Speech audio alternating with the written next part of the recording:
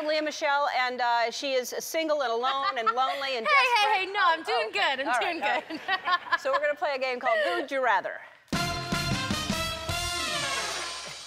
All right, uh, so that's. Do I get like a phone number at the end of this or something? Uh, or just like a shout out from you Yes, to them? depending on who you choose, it, it's going to be your boyfriend. oh, great. Yes, and we're all here to witness it.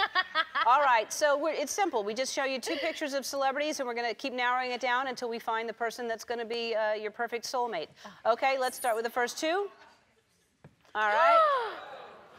My friends. Um, let's see. Hmm. I, I love them both, Yes. obviously, and they're so handsome. Right, but? Uh, well, Stamos probably a little on the older side for me, but I love you, John. So I'm gonna go with Taylor. All he right. gave me a lap dance the other day, and it was great. Really? Yeah. All right. Yeah. Well then, all right. Now you've got Nick. Nick or Taylor. Oh no! I think you're going to switch in a minute.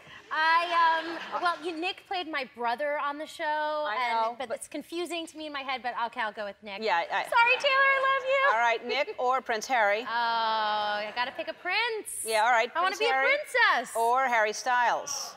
Um, I'm gonna stick with Prince Harry because I can't compete with Kendall Jenner. All right. Michael B. Jordan. Yep. Adorable. And I love him. All right. Or Jared Um, from The Bachelor. I'm gonna go with Michael B. Jordan. All right. Stick with Michael B. Jordan. Or Bruno Mars. Hmm, I mean, Bruno and I could sing together, Yep. but Very talented. I'm still gonna All go right. with Michael Still B. with Jordan. Michael B. Jordan. Tom Hiddleston, single He's now. He's got too much going on, Tom Hiddleston.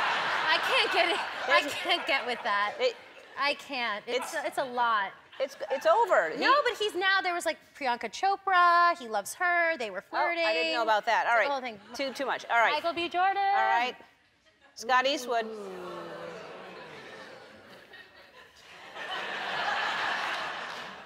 I can't get both. No. You got to stick. Um, I'm gonna still go with Yeah. Michael B. Jordan. Yep. Or Blake Griffin. Michael B. Jordan. Michael B. Jordan. It seems like he's going to be the guy. Oh, people are already voting. I, I just couldn't keep up with Bieber. No.